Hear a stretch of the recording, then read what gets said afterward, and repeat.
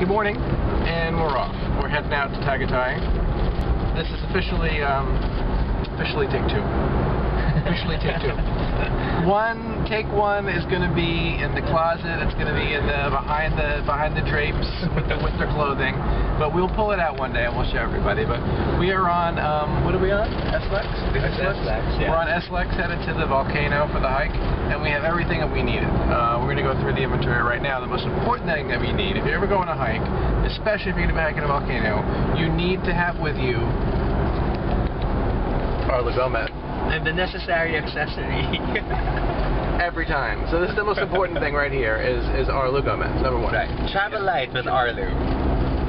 Right. Then the second I thing heard you, I heard you, I heard you. the second thing you need, of course, is Starbucks. Starbucks. Starbucks. Starbucks. And then we have the soda. See, I'm holding it gingerly with my ankles. It's very painful, very hard to do. Um, but I'm balancing that between my ankles and um, that didn't sound right. Um, and then No, we're, but, we're heading um, out. Uh, This is the second introduction. The first one was okay, but um, uh, I just got a little self-conscious because it was this side of my face. So anyway, um, here? no, but we're gonna we're gonna put it out one time. We might even put it at the end of the vlog. We'll see. But um, anyway, it looks like a beautiful day. The, the skies are clearing. The skies are blue earlier. It was a Wow, look at that, look at that. It's quite lovely actually. What do you call those clouds? Those are serious. Are those serious Yeah, they're not joking around.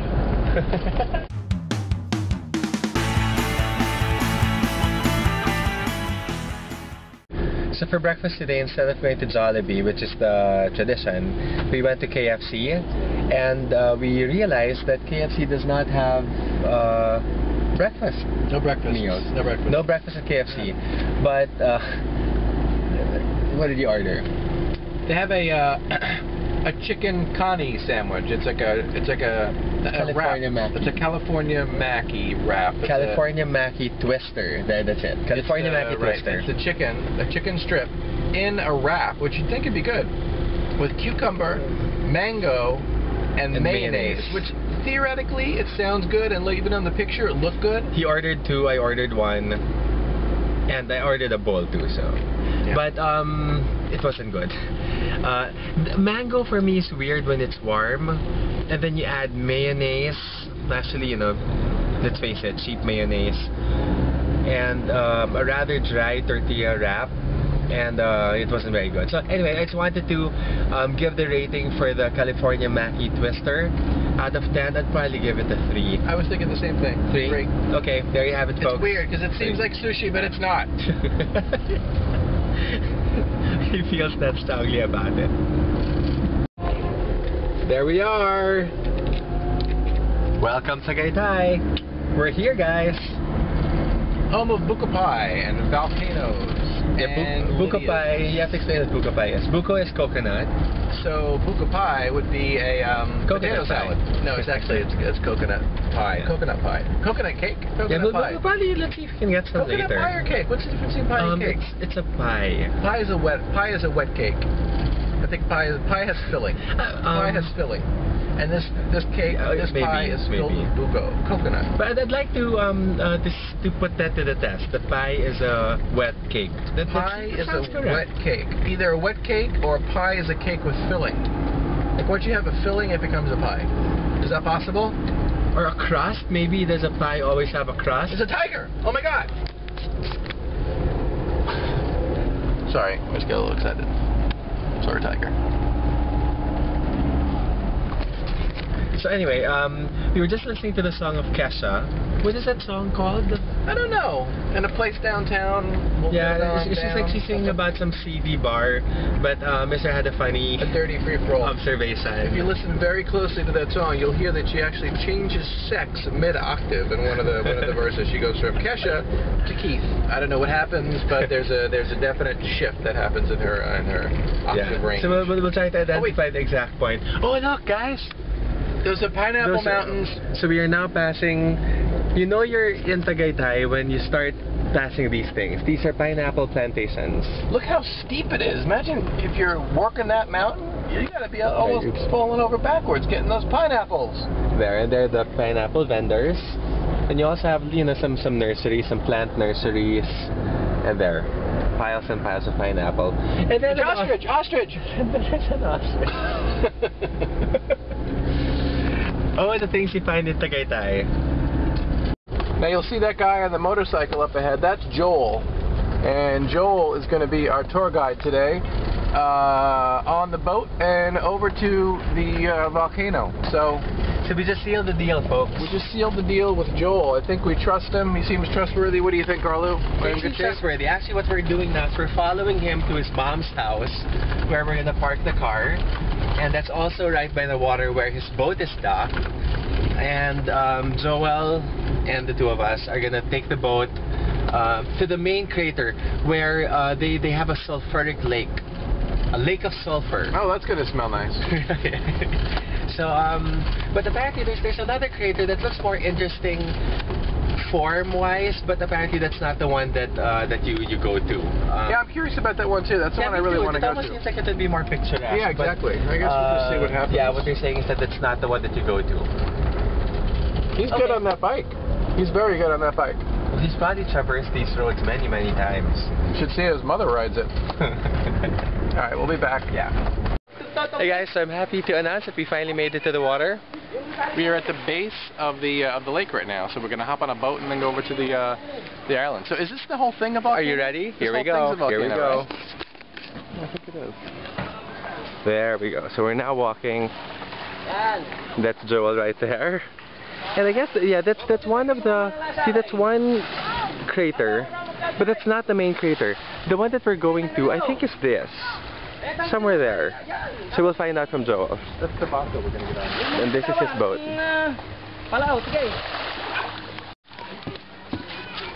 There there you go. Come. Okay, there we go. Got it? Yep. So we just got on the boat, and uh, it looks like it's a good day. I asked them if it was gonna rain. They said it wasn't. So here we go. Excited for the trip. Ready to head out. Here's a sweeping view from the boat. We haven't moved yet. Look at that island. That one there. Amazing. And that's where we're going. There. Beautiful view.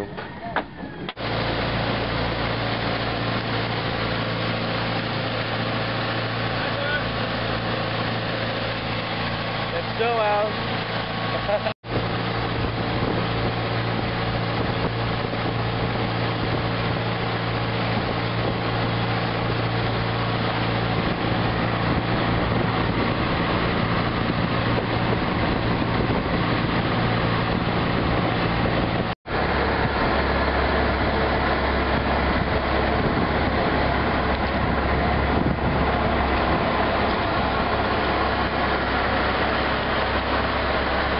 we're hitting land, folks. Dal. The volcano within a volcano within a lake within a volcano. And hopefully a map somewhere. We actually get some map to go on. Yeah, so this is the next thing on this uh, agenda is to get a map. Hopefully there's a tourist center here which um, will give us a map. We'll don't see. think we need a, uh, a tour guide. I think we just need a map. We'll be fine. We'll, uh, we'll be fine. Okay, we'll see. Okay, suddenly it's quiet because we're about to hit land. Can someone read to me? Give me a story? Okay guys, so here we go. I'm on a horse named Angel. Here's Angel. And uh, we're now making our way up to the crater of the volcano. This is there. On the back? So this is there. And uh, so we're now passing through a very provincial scene. Here you have like a little marketplace where they're shopping meat. And uh, yeah, so this is like a little little village. There. So I'm a little scared because this is my first, my second time ever on a horse. The first time I was five years old with my dad, and uh, this is the second time. So um, I'm holding on for dear life. Anyway, we'll see how this goes, but this is what lays before me.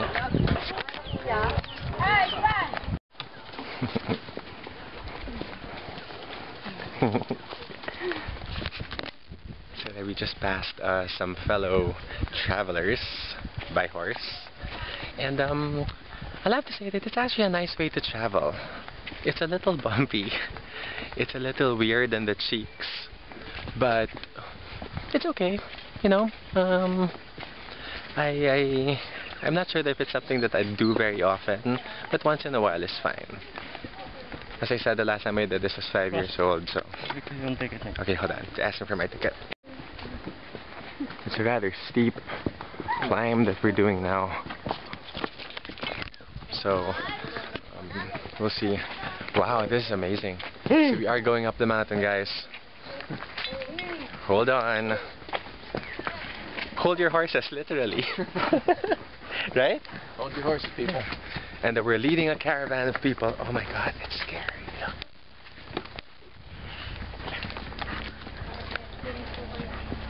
There he is.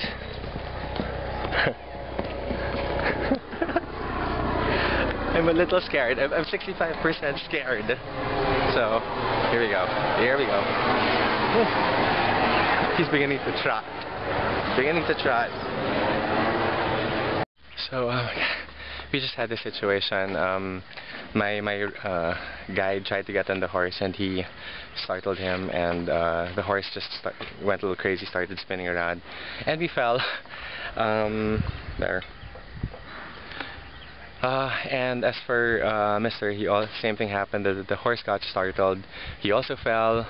Camera hit the rock, etc. So anyway, um, it's all part of the adventure. But anyway, uh, I want to show you this view. And there's Mr. coming. We're both actually a little rattled, but um, I'm just trying to stay above it, you know. But um, so far everything's okay. Huh? Anyway, off you go.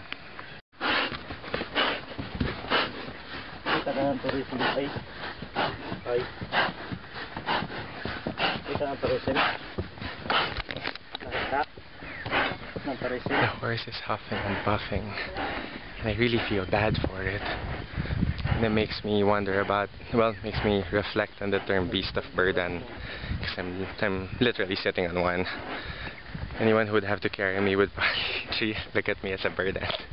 Anyway, um, look at this. It's a deep ravine. It's actually quite lovely just to be surrounded by nature and very thick foliage, very thick, almost like a rainforest. No, I don't know if it's a rainforest, but um, very dense with foliage. It looks like we're coming up close to the, the, the top of the, the peak. So, here we go.